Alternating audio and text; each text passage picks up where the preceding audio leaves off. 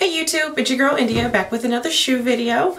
Um, this video is going to showcase this shoe here.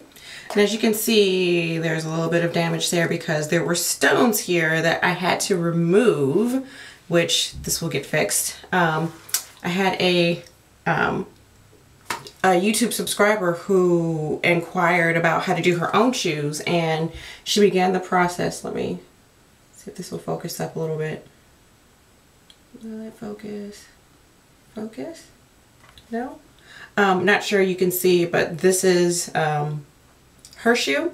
I'm going to put some pictures um, so you can see up close what it looked like. Um, the main problem that she had is that um, I believe, and I'm just making the assumption, that she purchased these stones from a local craft store like a Hobby Lobby or um, a Joann Fabrics or Michaels or something to that effect.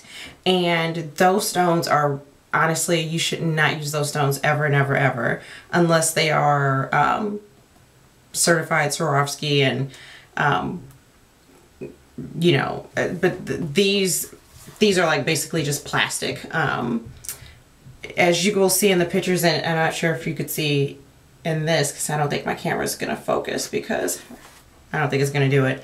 It's too close. Um, but in the pictures you'll see it looks like the um, some of the stones were either melted or the foil backing melted. That's why it looks like it's cracked.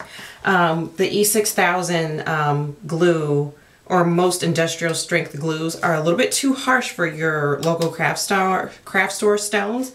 Um, so this is what her she was. Um, I, I left this one because I wanted to show people and I've because I've been asked multiple times why are my stones melting? The backs of the back end of my stones are melting.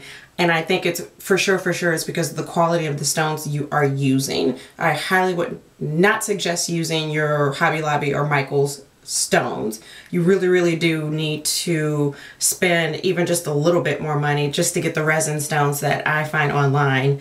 Glass is even better and Swarovski is obviously the best. Um, but with each upgrade in quality, you know, Swarovski stones are extremely expensive. So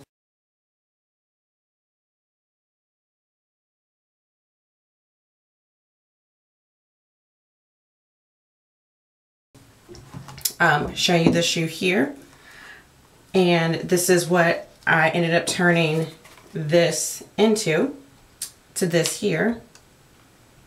And I don't have a video um, in natural sunlight just because it's extremely cloudy and rainy in my area. So I've been unable to to get any footage of it in natural bright sunlight because it's just extremely cloudy and rainy where I'm at.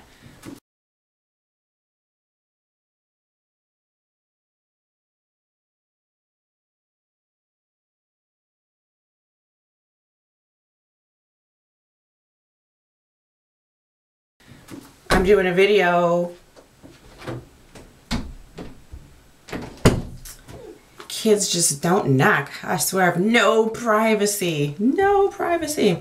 Anyway, um, like I said, this is the shoe. There are approximately, I want to say, um, at least or about around 2,500 stones in just this one single shoe here.